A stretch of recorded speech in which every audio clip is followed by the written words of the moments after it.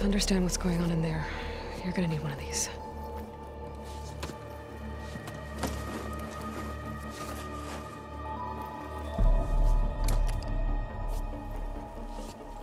On the temple.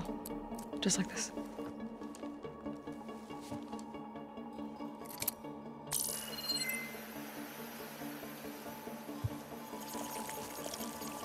There's blue light on the door. Yeah, take some getting used to. Don't worry, Zoe. I help. Now listen. The machines we've been fighting, they're different. More dangerous. That means there's something very powerful somewhere beyond that door. And it wants us dead. Follow my lead. And be ready for anything.